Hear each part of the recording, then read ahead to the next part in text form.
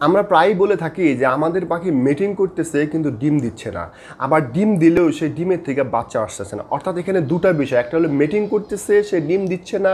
আর হচ্ছে মিটিং করার পরেও যে ডিমটা আসছে সেটার থেকে ডিম থেকে বাচ্চা হচ্ছে না। তো কেন হচ্ছে না, সেই বিষয় নিয়ে আজকে আপনাদের সাথে আলোচনা করব। আসসালামু আলাইকুম, আমি মামুন বাড়ির চ্যানেল বেচিতে সবাইকে স্বাগতম। এই মুহূর্তে যারা আমার ভিডিও দেখছেন, সবাইকে আন্তরিক ধন্যবাদ। ভিডিও শুরু করার পূর্বে বড় বড় মতো থাকবে। চ্যানেলটি এখনও সাবস্ক্রাইব করে না থাকলে সাবস্ক্রাইব করে পাশে থাকার বেল বাটনটি বাজিয়ে দিবেন। আর অলরেডি যারা সাবস্ক্রাইব করেছেন সবাইকে আন্তরিক ধন্যবাদ। চলুন সবাই মিলে আজকে ভিডিওটা শুরু করি।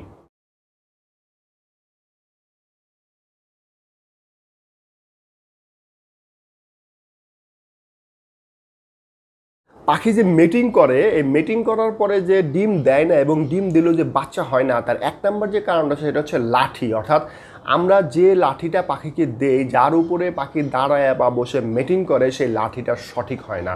অনেক সময় হয় কি, আমাদের লাঠিটা ঝুলে কিংবা পিচ্ছিল থাকে, যার কারণে পাখি গ্রিপ করতে পারে না। পাখি গ্রিপ না করার পরে যে প্রপার যে মেটিংটা দরকার পাখিকে ডিম পাড়ার জন্য সেই প্রপার মেটিং হয় না।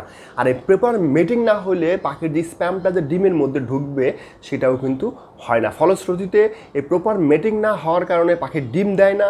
আর কখনো যদি স্বাভাবিকভাবে ডিম দিয়েও থাকে এবং আমরা যদি মনে করে থাকি যে পাখি তো মেটিং করছে, হয়তো ডিমে বাচ্চা আছে, সেটা কিন্তু না। অর্থাৎ পাখির প্রপার মেটিং হতে হবে সঠিকভাবে ডিম পাড়ার এবং ডিম থেকে বাচ্চা হওয়ার জন্য। আর সঠিক মেটিংয়ের জন্য আমাদের সঠিকভাবে খাঁচার মধ্যে লাঠি দিতে হবে। দুই নম্বর যে কারণটা সেটা হচ্ছে ফ্যাট অর্থাৎ পাখির শরীরে যখন ফ্যাট থাকে, তখনও কিন্তু পাখি সঠিকভাবে মেটিং করতে পারে না।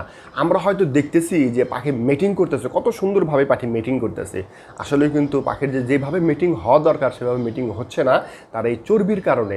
ফলশ্রুতিতে পাখি ঠিকমতো ডিম পারতে পারে না এবং ডিম পারলেও সেই ডিমের থেকে কোনো ধরনের বাচ্চা আসে না।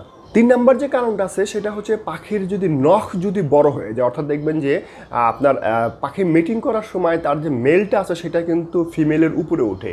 এই ফিমেলের উপরে যখন উঠে আর মেলের নখ যদি বড় থাকে, আপনার লক্ষ্য করবেন যে যাদের টেম পাখি আছে, তারা যদি কখনো ধরে থাকেন, তাহলে দেখবেন যে সেগুলো কী হয়? এবার লেগে যায়, হাতের মধ্যে লেগে যায়। অর্থাৎ নখগুলো বড়ে থাকলে লেগে যায়। এই অবস্থা অনুরূপভাবে ফিমেলেরও কিন্তু লেগে যায়। তাই পাখির যদি নখগুলো ঠিক মতো না থাকে তাহলে কিন্তু পাখি প্রপারভাবে মেটিং করতে পারে না বা ফিমেল ঠিক মতো মেটিং করতে দেয় না। এ অবস্থাতেও পাখি ডিম পারে না এবং ডিম পারলেও সে ডিমের থেকে বাচ্চা আসে না। চার নাম্বার যে কারণ আছে সেটা হচ্ছে মেল ফিমেল বয়সের অত্যাধিক পরিমাণের ডিফারেন্স অর্থাৎ দেখা যাচ্ছে মেলটা অত্যাধিক বড়, নাহলে ফিমেলটা অত্যাধিক বড়। এই যে মেল ফিমেল যে বয়সের যে অত্যাধিক যে ডিফারেন্স এর কারণে নিজেদের মধ্যে প্রপার বন্ডিং তৈরি হয় না প্রপার মেটিং তৈরি হয় না বা মেটিং করতে পারে না না ফিমেল পারে, না মেল পারে। এই যে মেটিং না হওয়ার কারণে স্বাভাবিকভাবে পাখি ডিম দেয় না আর ডিম থেকে বাচ্চা হয় না।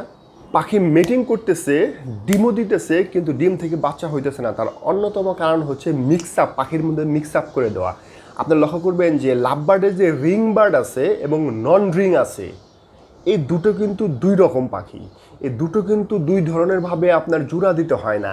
জুড়া দিলে হয় কি, এই দুটোর মধ্যে খুব বেশি যখন নাকি মেটিং হয়ে যে বাচ্চাটা আসবে, ভবিষ্যতে সেই বাচ্চার থেকে ডিম হবে না, বাচ্চা হবে না, সেই বাচ্চাটা বেকার। হয়তো আমরা তাকে ঘরে সৌন্দর্যের জন্য রাখতে পারি, কিন্তু ব্রিডিং করাতে পারব না। অর্থাৎ লাভ বার্ডের আপনার রিং মিউটেশন এবং নন রিং মিউটেশনের মধ্যে যদি পেয়ার নিয়ে নেয় এবং তার থেকে যদি আপনার বাচ্চা হয়, সেই বাচ্চা কখনো ব্রিড করতে পারে না, সেই বাচ্চা থেকে আপনার ডিম বাচ্চা হয় না।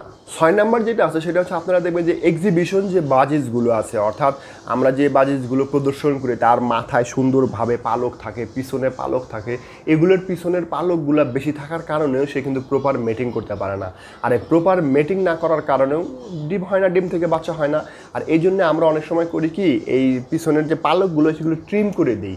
আর এই ট্রিম করার সময় অবশ্যই আপনার অভিজ্ঞতা আরও সাহায্য নেবেন, তা না হলে কিন্তু পাখির ক্ষতি হয়ে যেতে পারে। তাই এই যে অত্যাধিক পরিমাণের পালকের কারণেও কিন্তু পাখি ঠিকমতো ডিম দেয় না এবং ডিম দিলেও সেখান থেকে বাচ্চা হয় না প্রপার ম্যাটিং না হওয়ার কারণে।